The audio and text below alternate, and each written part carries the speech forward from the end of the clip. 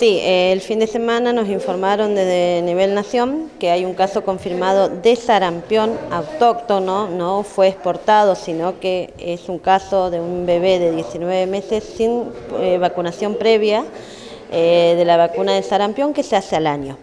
no hay pruebas de que haya viajado afuera del país ni que haya estado en contacto con gente que haya estado fuera del país en zonas donde circula el virus.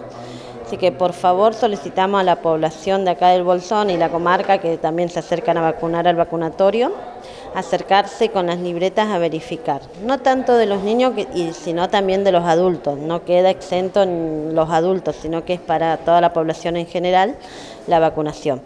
Eh, hay que tener en cuenta que la vacunación de triple viral se realiza cuando el bebé cumple los 12 meses, el año de vida, tiene que recibir eh, la triple viral, que es una dosis. Después hay nenes que el año pasado tuvimos una campaña de sarampión, sí que van a tener dos dosis, pero por calendario es una dosis a los 12 meses.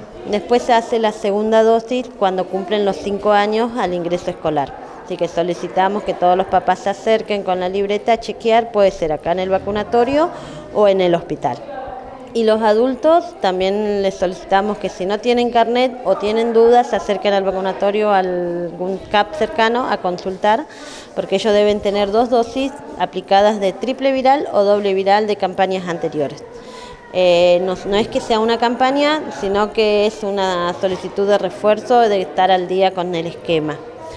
Eh, y después, sobre todo, somos zona turística, así que viene gente de todos lados y no estamos libre de que el virus ingrese a la localidad, como ha pasado en años anteriores. Hace mucho tiempo hubo un caso positivo acá de sarampión, que tuvimos que hacer bloqueo urgente en una zona de un barrio y también fue un adulto, en ese momento fue un adulto. Esta es la primera vez que tenemos información de un niño de 19 meses sin dosis previa de vacunación. Así que por favor acercarse, sí tener en cuenta que las personas que nacieron en el año 1965 están exentos de esta vacunación porque como ellos estuvieron expuestos en una pandemia muy grande de sarampión que hubo, tienen inmunidad por haber estado cursando en ese momento la enfermedad. Bien, así que importante esto, Romy, tener en cuenta que en este momento a nivel nacional hay una alerta y es importante pasar e informarse aquí en el vacunatorio los papás y las mamás. Exactamente, tanto el esquema del niño como el del adulto. Mayores de 18 años pueden consultar y si tienen planes de viajar al exterior o al norte o en Salta, que está justito el caso, eh, acercarse y consultar para cualquier parte que vayan, nosotros tenemos vacunas disponibles y está bueno que chequen no tanto de sarampión, sino que también tenemos las antitetánicas, que, si hay que comprarlas están muy caras, así que está bueno que se acerquen a aplicar también por alguna picadura, por algún corte eh, una herida profunda, eh, sobre todo para evitar eh, infecciones, así que por favor acercarse. Romy, ¿cómo están trabajando esta semana?